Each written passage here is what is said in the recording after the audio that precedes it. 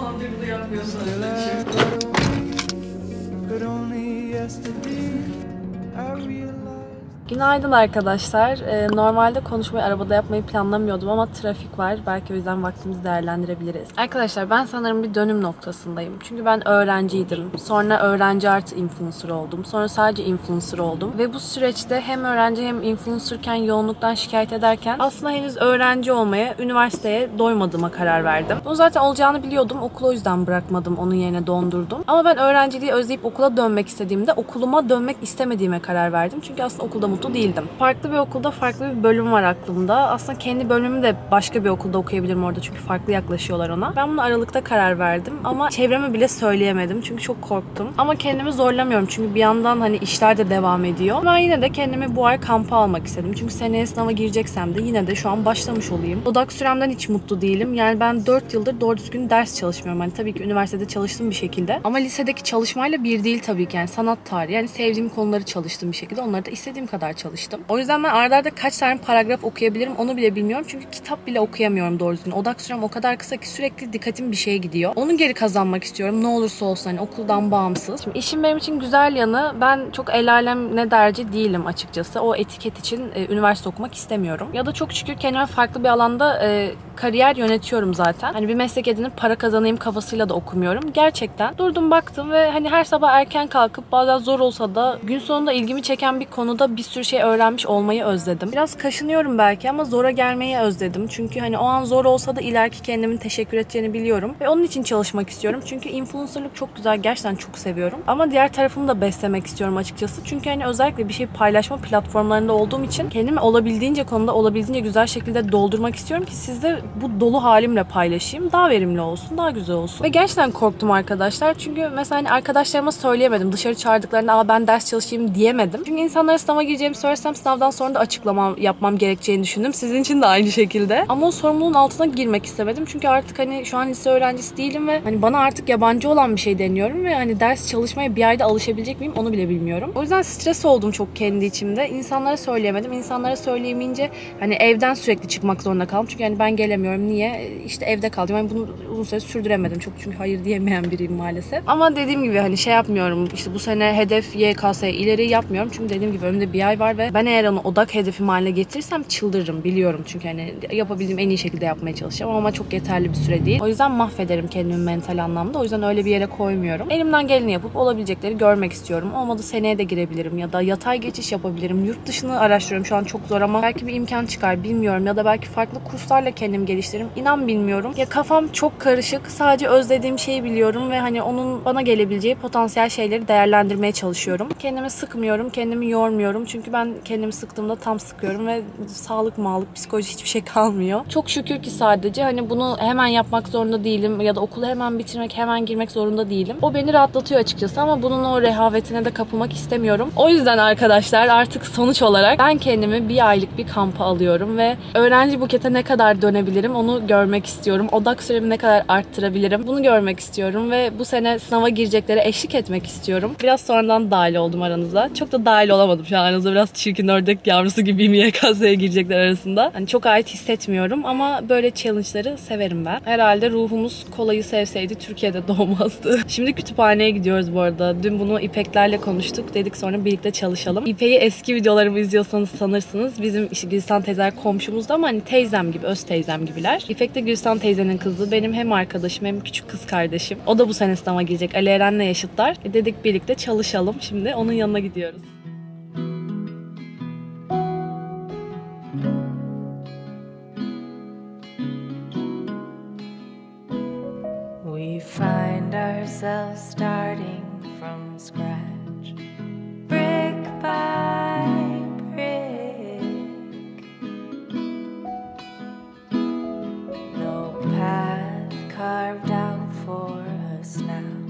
The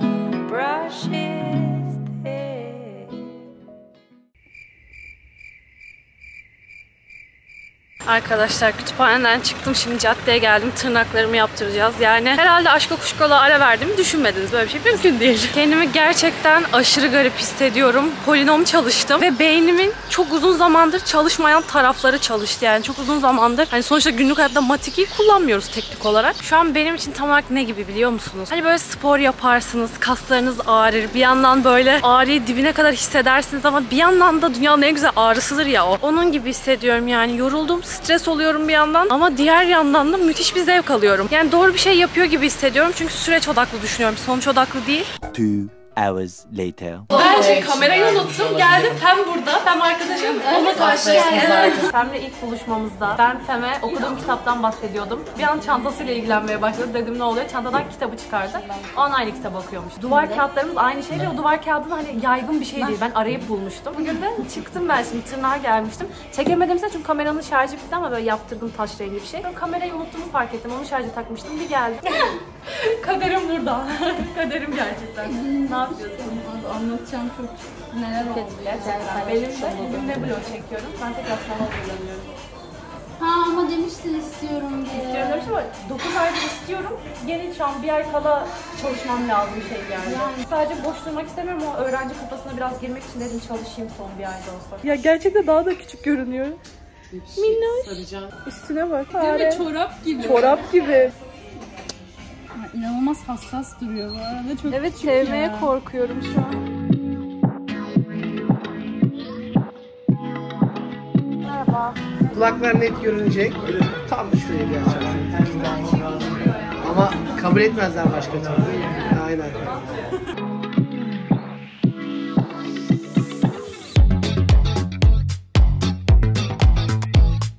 Arkadaşlar son zamanlarda çektiğim en böyle anlık bir şey oldukça elime kamerayı aldığım vloglardan biri oluyor. Gerçekten bugünü planlamadım. Sadece konuşacağım şeyi planladım. Tek başıma bir seyahat planladım. Çok uzun zamandır istediğim bir yere. Teknik olarak gidiyoruz. Şimdi size götüreceğim. Bir hafta Paris gibi bir kaçamak yapacağız. Tipime bak şimdi. Vesikalık çektirdim ve o kadar komik ki. Başta bir güzel çıkmaya uğraştım. Sonra adam dedi ki bak geçerse olur kulakların görünmezse falan ve sonuç olarak. İnşallah vizem uzun çıkar da bu fotoğrafa sık sık maruz kalırım. Hiç sıkıntı yok.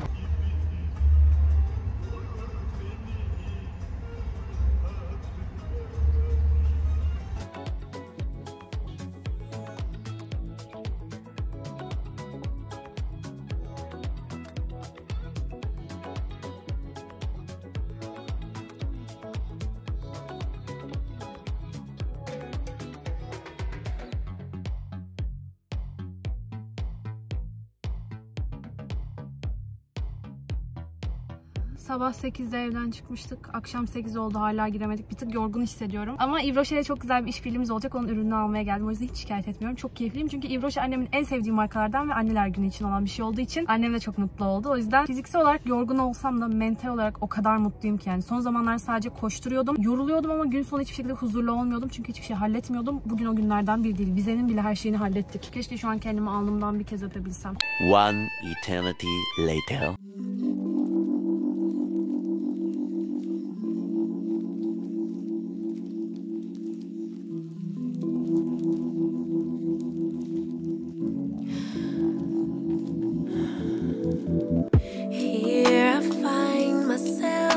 Again. Time traveling only in my head. From the past to future play. More change, yeah. Şöyle bu yaşlar aradığını bulmak için deneme yaşları yani. Şimdi deneyeceksin ama seni mesela yoran kısım belli ki birden fazla şey aynı anda denemeye çalışıyorsun. Ama çünkü birden fazla şey istiyorum.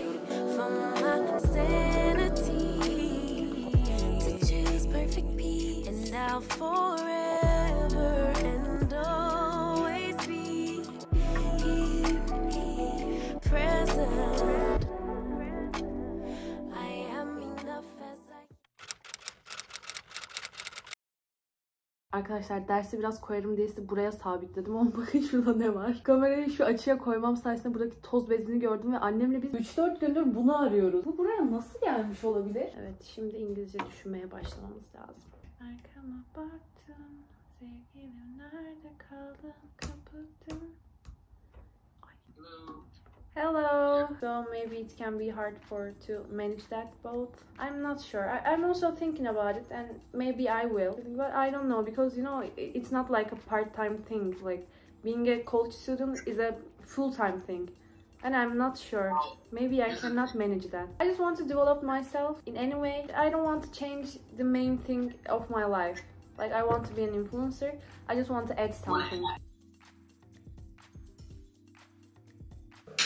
Canlarım nasılsınız? Ne yapıyorsunuz? Ya ben çok hasta oldum. Instagram'dan takip ediyorsanız görmüşsünüzdür belki. Regli düzenim çok kötü. 10 gün arayla tekrar regli oldum. Yani bağışıklık sistemim de düşük. Biraz soğukta kaldım sanırım. Onun dışında zaten biraz bu videodaki konulardan stresliydim. Bu yüzden tüm planlarımı iptal ettim. Perşembeden beri çok kötüyüm. Bugün cuma. İki günde iptal etmek durumunda kaldım. Ve haftaya şu an hiçbir plan koymadım. Bir tek pazar günü oy vermeye gideceğim. Umarım ülkemiz için çok hayırlı bir gün olur. Çünkü hani sınava çalışırken bile bakın. Bir şeyler elimde değil gibi hissediyorum. Çünkü okulların ücretleri yükseliyor. Erasmus kesin yapmak isterim ben ama yurt dışına nasıl giderim bunları düşünüyorum. Ya da belki Türk lirası bu kadar değersiz olmasaydı ben şu an bunları yaşamak zorunda değildim. Kendi kendimi yurt dışına okumaya gönderebilecektim. Ama bu durumlar bizim elimizde değildi ve gerçekten hani içten içe çok üzülüyorum ve bir yandan da sinirliyim bunlar yüzünden. Pazar günü bir şeyler bizim elimizde olacak. O yüzden sadece kendiniz için değil gerçekten lütfen araştırıp düşünüp hepimiz için ileride bu stresleri yaşamasını istemeyeceğimiz kardeşlerimiz için bu sorumluluğu üzerimize alalım. Neyse bunları düşünürken ve kendi kendime çok stres olurken bir yandan da hastayken ve çalışamıyorken kendimi bayağı kötü hissediyordum ve Nilüfer'le gittiğimizde şöyle şu şans kurabiyelerinden almıştım. Onlardan bir tane açayım dedim ve çıkana bakın.